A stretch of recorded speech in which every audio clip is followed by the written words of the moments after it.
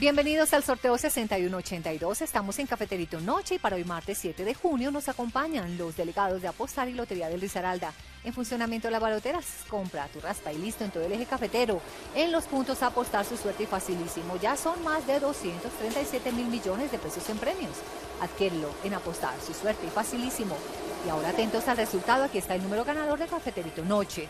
Es el 7 2 9 6. Vamos juntos a verificar el resultado. Ganador número 7, 2, 9, 6.